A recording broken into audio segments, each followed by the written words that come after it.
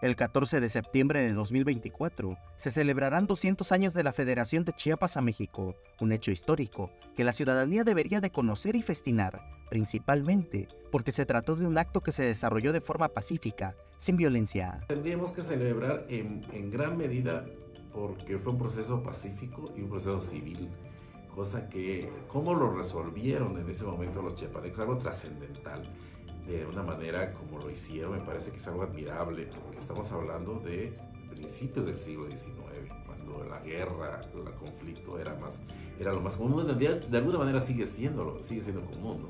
Y yo creo que también debemos estar contentos porque yo, por, por lo menos hablo de manera personal, sí estoy satisfecho de ser paisano de los neoleoneses y de los de jaliscienses y de los sonorenses. Me parece que formar parte de un gran país tan rico, tan diverso, también es, es una cosa que nos debe poner contentos. El estado de Chiapas nació como entidad mexicana el 14 de septiembre de 1824. Esta unión a México fue tras un plebiscito el 12 de septiembre, donde votaron 172.953 personas, 96.829 decidieron que debería unirse a México, 60.400 por Guatemala y 15.724 se abstuvieron.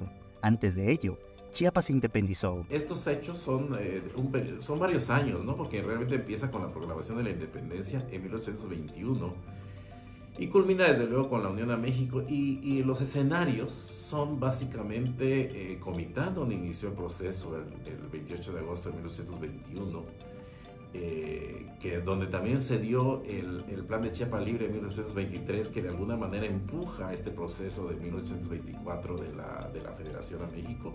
Y desde luego San Cristóbal como capital entonces de la provincia fue donde se llevó a cabo eh, no solo las reuniones que decidieron el destino de Chiapas, sino además la ceremonia oficial el 14 de septiembre de 1824 en la catedral. El experto hizo un llamado a las instituciones para celebrar y a la ciudadanía para conocer el suceso que marcó el destino de Chiapas y reflexionar sobre el destino que ha tenido la entidad. Revisemos, ¿qué pasó?